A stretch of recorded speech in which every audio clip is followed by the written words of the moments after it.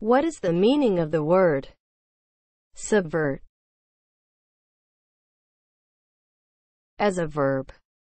Destroy completely. Examples of use.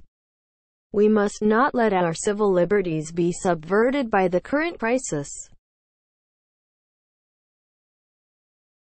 Subvert is spelled S U B V E R T. Subvert